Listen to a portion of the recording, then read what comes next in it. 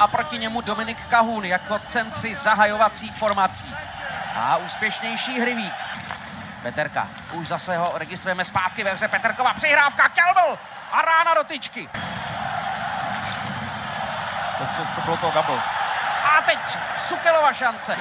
Viděli jsme asistenta Craiga Remsiho, Petra Freehaufa. Teď Elova střela, kterou likviduje. Škovský jel k modré čáře a tím se otevřel ten prostor. Tady Dominik Kauna, ještě pas na Elice.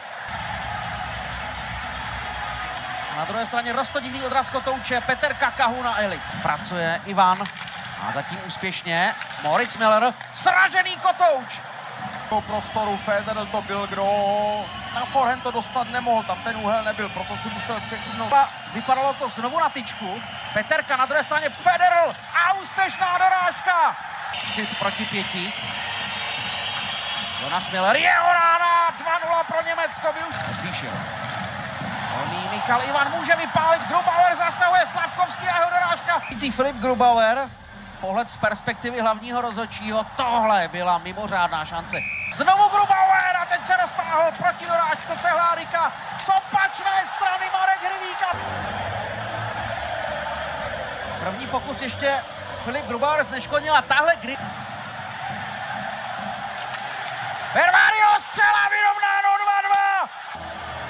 Pohyb svého spoluhráče směrem modré čáře, proto mu odstoupil na Šel to na druhou stranu. A střelecká šance Lukas Kelbl. Trefil naprosto parádně. Jenom jedno přechycení, dva doteky z backendové strany. Vládl zemskou přitažlivost.